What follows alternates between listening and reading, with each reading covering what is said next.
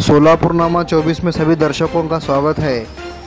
आज 13 जून, शनिवार को सोलापुर शहर में कोरोना वायरस के जो अहवाल प्राप्त हुए हैं, वो इस तरह हैं कि आज टोटल 136 अहवाल प्राप्त हो चुके हैं, जिसके अंदर पंचानवे नेगेटिव और इक्कीस पॉजिटिव हैं।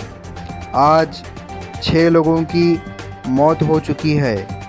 और 21 लोगों को डिस्चार्ज दिया गया है।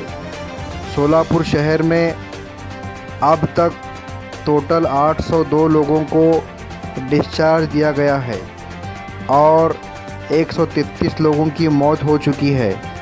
सोलापुर शहर का टोटल आंकड़ा आज तक का कोरोना वायरस का पंद्रह पहुँच चुका है।